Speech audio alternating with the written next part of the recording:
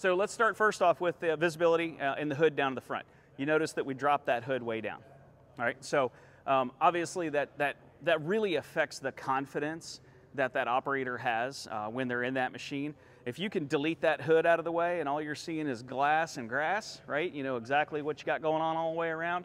That's a real benefit to that operator. So um, to enable that, we did reduce the size of our CEM just a little bit, our CAT emissions module in here. Not a ton, but just a little bit, right? And we also put a different air filter in there.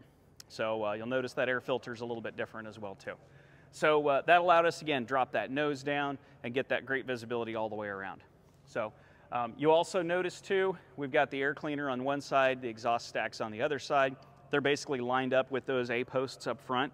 And so you kind of don't see those either when you're in there. You can really see nicely down the front.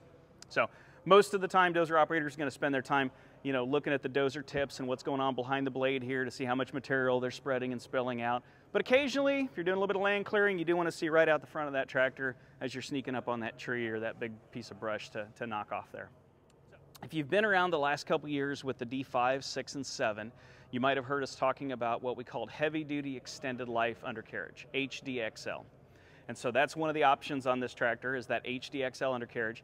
HDXL has a little bit thicker bushing, a little bit thicker uh, rail on here as well too. And we've also done some work with that rail to pin interaction here where we, we have a, there's a groove in the end of the pin and we swage some material into that, basically locking the pin and that link together. So that's really important when you have wider tracks and you get into situations where you're starting to walk those tracks a little bit, where you might want to walk that link off the pin. This helps to keep that joint together and it keeps that oil uh, inside that joint so it can do its job and lubricate. So basically improving the durability of that track system for longer hours. It still is a serviceable track. If a customer did want to go ahead, push those pins and, uh, and, and bushings out, flip them over, put them back together, they could do that. Typically, you don't see that on this size of tractor, but we still made it serviceable if customer did want to do that. So that's heavy duty XL, HDXL. The other option of track we have on uh, undercarriage is going to be uh, what we call System 1. Okay. Now we've done some work with System 1 and we've rebranded it. It's now called Cat Abrasion.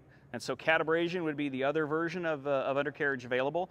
That's going to be our rotating bushing track. So Cat Abrasion reduces that extra uh, point of contact between the bushing and the sprocket, so we no longer scrub that. The bushing rotates with the sprocket.